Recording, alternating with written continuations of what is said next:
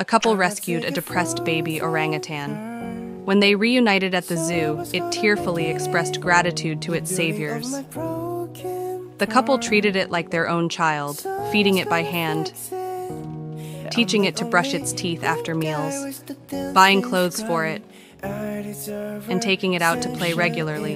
They even bought it a toy car.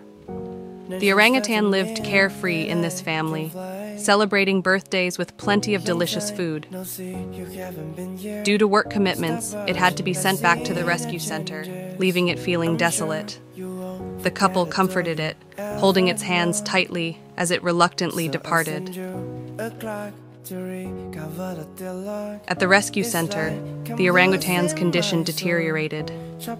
Many years later, when they were reunited, it immediately recognized its benefactors, rushing into its mom's arms and embracing its dad.